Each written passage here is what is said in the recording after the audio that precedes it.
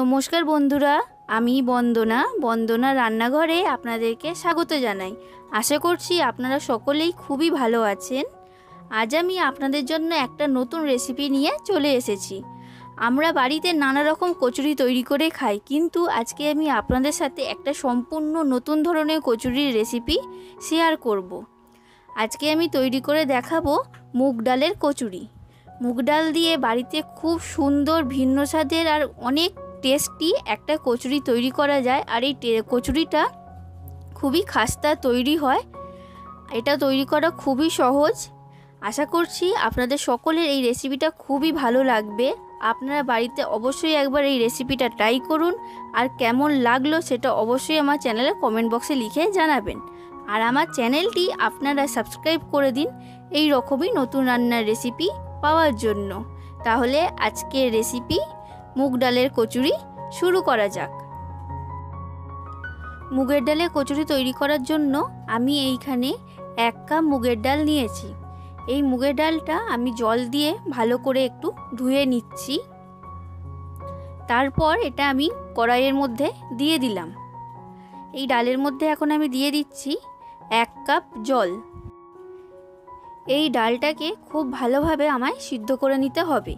সেই জন্য আমি এখন কড়াটা ঢাকা দিয়ে দিচ্ছি যাতে ডালটা খুব ভালো মতো সেদ্ধ হয়ে যায়। দশ মিনিট আমি মিডিয়াম ফ্লেমে ডালটা সিদ্ধ হতে এখন রেখে দিলাম। দশ মিনিট পর ফিরে এলাম। আমি ঢাকাটা খুলে নিয়েছি আর ডালটা আমার ভালো মতো সেদ্ধ হয়ে গেছে। এর মধ্যে একটু জল আছে। এই জলটা পুরোপুরি একদম শুকিয়ে যাবে, ততক্ষণ আমাকে অপেক্ষা করতে হবে। দেখুন, আমার ডালটা খুব ভালো মতো সেদ্ধ হয়ে গেছে, আর এর মধ্যে একটুও দানা অংশ নেই। এটা পুরোপুরি নরমভাবেই সেদ্ধ হয়েছে। এরকম শুকনো শুকনো করে ডালটাকে সেদ্ধ করে নিতে হবে। ডালটা সেদ্ধ হওয়ার পর আমি একটা পাত্রে তুলে রেখে দিয়েছি, ডালটা একটু ঠান্ডা হয়ে যাওয়ার জন্য। এখন আমি কচুরির পুর তৈরি করে নেব। তার জন্য গ্যাসের মধ্যে আমি কড়া বসিয়ে দিয়েছি। কড়াইয়ে দিয়ে দিলাম সর্ষের তেল। সর্ষে তেলটা একটু গরম হয়ে গেলে আমি দিয়ে দিচ্ছি দুটো শুকনো লঙ্কা। শুকনো লঙ্কা দুটো আমি মাঝখান থেকে ভেঙে দিয়েছি। এরপর দিচ্ছি হাফ টি স্পুন সাদা জিরে আর হাফ টি স্পুন হিং। যেহেতু আমি কচুরি তৈরি করছি, তাই আমি এখানে হিং দিলাম। এরপর দিচ্ছি লাল লঙ্কার গুঁড়ো। এটা একটু নাড়াচাড়া করে দিলাম। সেদ্ধ করে রাখা মুগের ডালটা আমি এখন এই তেলের মধ্যে দিয়ে দিচ্ছি। তেলের মধ্যে দিয়ে এটা খুব ভালো করে নাড়াচাড়া করতে হবে। আর যেহেতু আমি এখানে হিং দিয়েছি, তাই ডালটা খুব তাড়াতাড়ি এর মধ্যে দিয়ে একটু নাড়াচাড়া করে মিশিয়ে নিতে হবে। নাহলে কিন্তু হিংটা পুড়ে যাবে আর তখন কচুরিটা খেতে ভালো হবে না।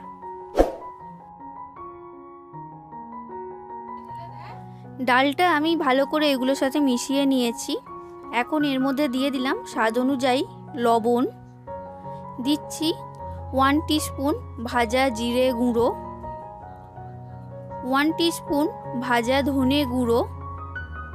আর হাফ স্পুন আমচুর পাউডার এগুলো দিয়ে আমি আবার ডালটাকে ভালো করে একটু মিশিয়ে নেব।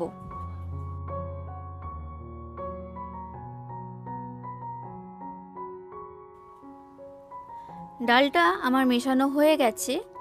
আমি এর মধ্যে দিচ্ছি ওয়ান স্পুন চিনি। চিনি দিলে এই পুরের টেস্টটা অনেকটাই বেশি ভালো হয়, তাই আমি এখানে চিনি দিয়েছি। এটা এখন আমি খুব ভালো করে নাড়িয়ে চাড়িয়ে পুরটাকে কষিয়ে নেব।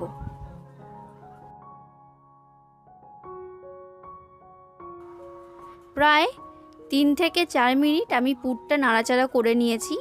আমার মুগ ডালের পুর তৈরি হয়ে গেছে কচুরির জন্য। আমি এখন এটা একটা পাত্রে তুলে নেব। আমি একটা পাত্রে দু বাটি ময়দা নিয়েছি। ময়দার মধ্যে দিয়ে দিলাম স্বাদ অনুযায়ী লবণ। আমি ময়ন দেওয়ার জন্য এইখানে ঘি ব্যবহার করছি। আপনারা এইখানে সাদা তেলও ব্যবহার করতে পারেন। তবে ময়নটা একটু বেশি পরিমাণেই দিতে হবে। এই ময়দাটা আমি প্রথমে একটু ভালোভাবে মিশিয়ে নিচ্ছি। এখন আমি এর মধ্যে দিয়ে দেব হিং। আমি একটা বাটিতে সামান্য পরিমাণ জলের মধ্যে হাফ চামচ হিং ভিজিয়ে রেখে দিয়েছিলাম। সেই জলটা আমি এখন এর মধ্যে দিয়ে দিলাম। আমি ময়দাটা এখন ভালো করে জল দিয়ে মেখে নেব। লুচি বা পরোটা তৈরি করার সময় যেমন ময়দার ডো তৈরি করি, ঠিক সেই রকমই একটা ডো আমি তৈরি করে নেব।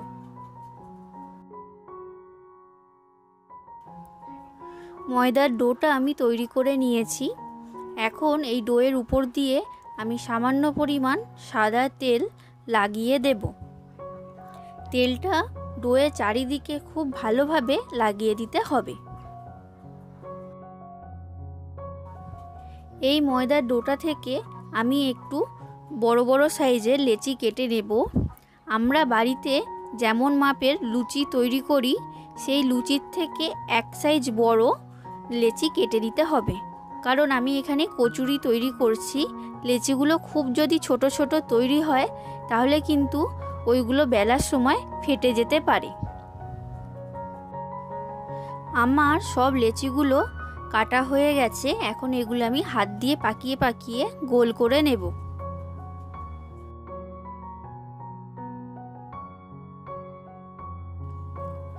এই লেচিগুলো এখন আমি গোল গোল বাটির আকারে তৈরি করে নেব। বাটিটা একটু বেশি গর্ত করে তৈরি করতে হবে।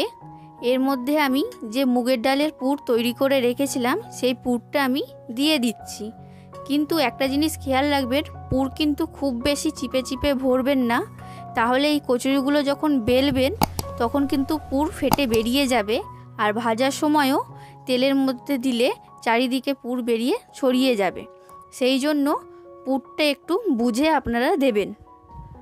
আর আমি যেভাবে এর মধ্যে পুর ভরছি, আপনারা ঠিক এইভাবেই পুরগুলো ভরে কচুরিগুলো তৈরি করে নেবেন।